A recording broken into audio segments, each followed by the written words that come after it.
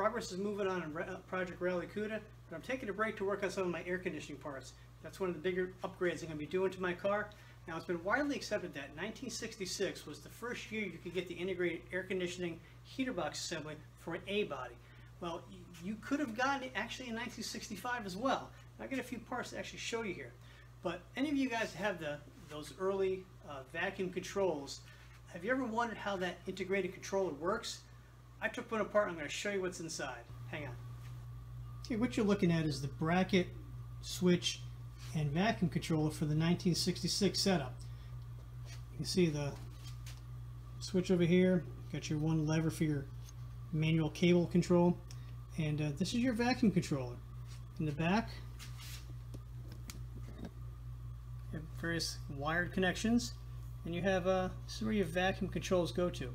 Uh, you have one vacuum source on the bottom, it's the center of the three down here, and the other ones go to your various vacuum actuators on your heater AC box.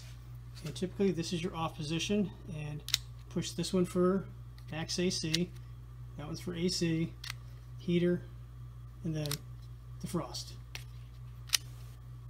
And see how easy that worked? Ever ever wondered what it does in there to move the vacuum around and the switch and everything looks like that?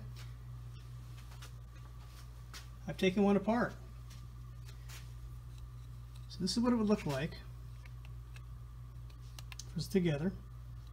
Okay, the buttons are on the back side here. On your vacuum side, that's what it looks like on, on the inside of the switch.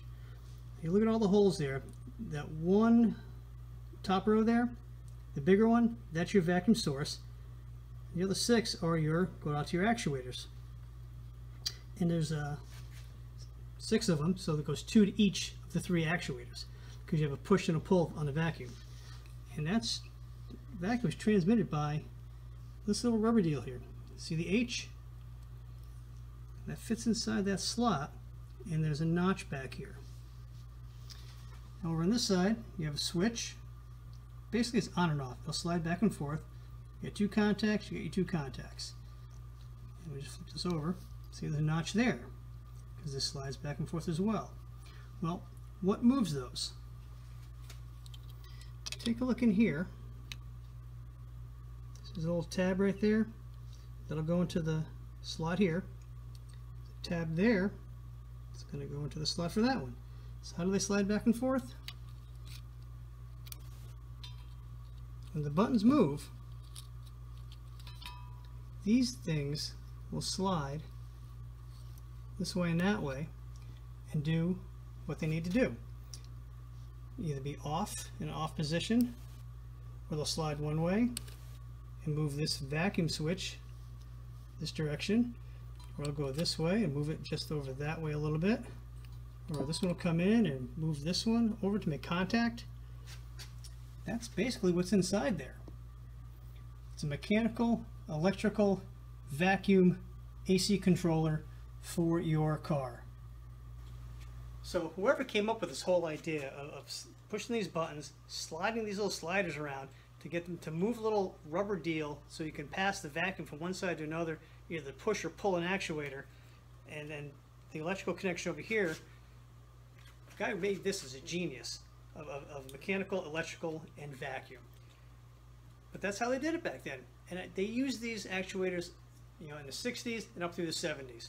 And you can actually buy replacements of these. Um, I haven't priced them in a while. The last time I checked, they're about 30 to 40 bucks. So if you uh, have one, and you need to replace it, you, you can get buy them pretty cheap. Now, take a look where the buttons go in, all these little pieces, the plastic gets really hard and brittle over years. So when you go to snap them buttons back in, they don't snap so well.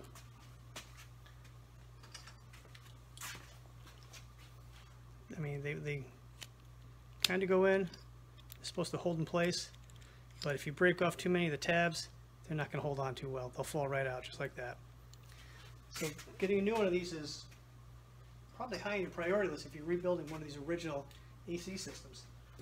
Now, like I said, 1966, you thought it was the first year? You could get it in 1965 as well. This is this whole setup here, one without the light, I got this from a guy who pulled it off of a 1965 Barracuda. They were out there, probably late 65, but they were there. So, little tidbits on uh, early A-body air conditioning controls. I'd like to thank you guys for watching. Subscribe to our YouTube channel, and uh, we'll talk to you again real soon. Thanks.